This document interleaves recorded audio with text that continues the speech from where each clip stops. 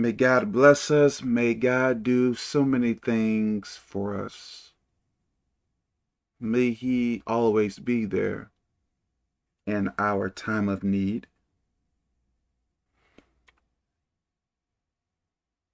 In my life, I have problems. I have problems. So, if you are trying to live for Jesus Christ, if you are striving for perfection,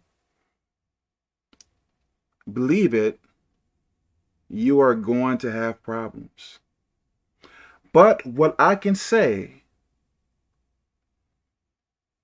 even though I have problems, everything may not be right in my life, so to speak, but at the same time,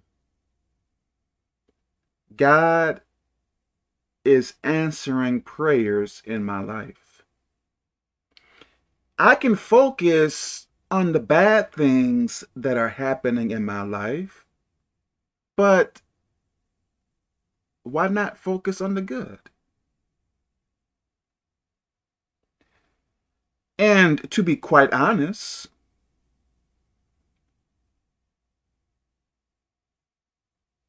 the bad may seem like it is overwhelming my life, I guess. But if I sit down and take note about the good things in my life, I believe there is more good than bad in my life. And if you are living for Jesus Christ, I believe the same goes for you as well. We may not take note of particular things because we may take it for granted. Yes, I have problems in my life, but I can breathe. I don't have a disease no cancer, no diabetes, none of that stuff. Like, I can walk around, I can move around. So many good things are happening in my life. But if I were to place a magnifying glass on my life, so to speak. And if I primarily focus on that, yes, then it may seem my life is so horrible, blah, blah, blah, blah, blah, but it is not. Good things are happening in my life.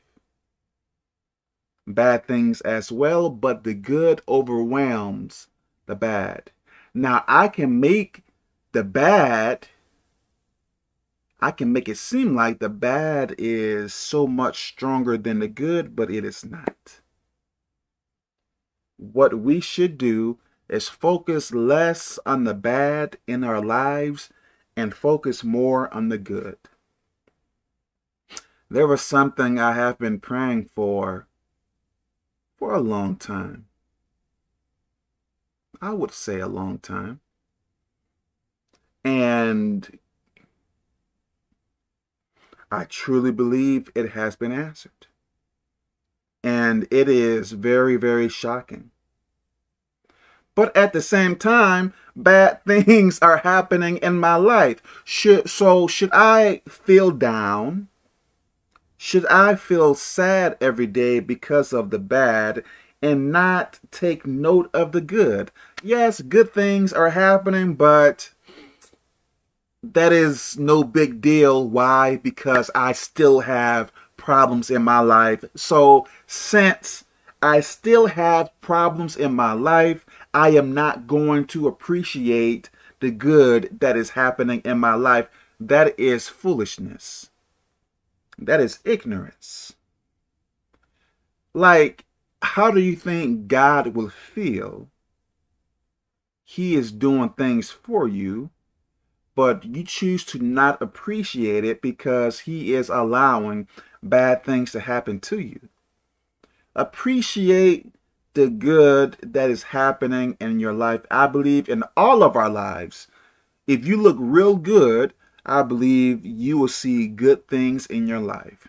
If you can walk around, if you can complain, and if you can do all this stuff here, not saying complaining is good, but if you can move around and stuff like that, that is good. If you have the ability to speak, that is good.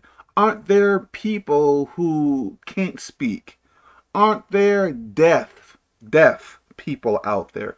Aren't there people with horrible, horrible diseases out there? So if you are not saying that your body is completely well intact, but I am telling you, things that you take for granted, look at them and appreciate them. I think anyone can focus on the bad things happening in their lives. I think one of the problems we have, I think many of us love pity parties, playing the victim. Why are these things happening to me? Why is this happening to me? Why is that happening to me? I don't deserve that. I don't deserve this. How do you know what you don't deserve? How do you know? According to your thoughts? According to your feelings? No. Appreciate what God has done in your life even if it may seem insignificant to you.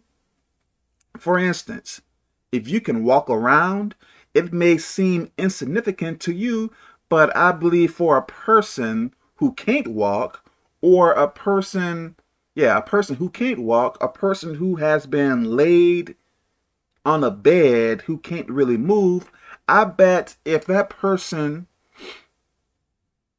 I believe if that person